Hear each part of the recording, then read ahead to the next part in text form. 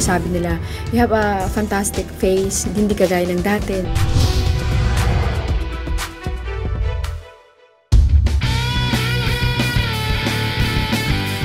Now it's time for the main event. This is Jinky Pacquiao and this is her road to beauty. I'd like to welcome the very beautiful, the very mabait, the very sweet, kuminsan, Jinky Pacquiao. Hi Jinx! Thank you for guesting in my show and being my buena mano. Mo ba yun? My honor and Ayan. pleasure. Siguro mga 4 years na. Kasi naniniwala ako- talaga ako sa Belo. Unang punta ko, um, satisfied yung pagpunta ko dito. Happy ako sa resulta. So, dito na ako pumupunta talaga. Ah, yung gagawin is Altera skin tightening.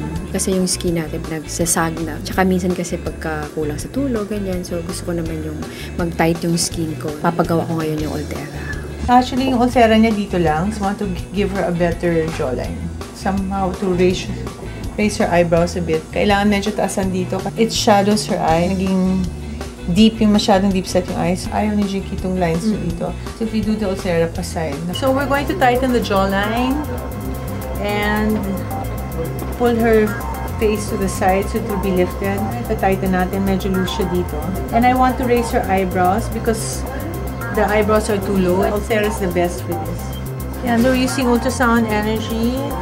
This is the tip. I'll, uh, it's releasing 10 parang little, it's making little holes into the dermis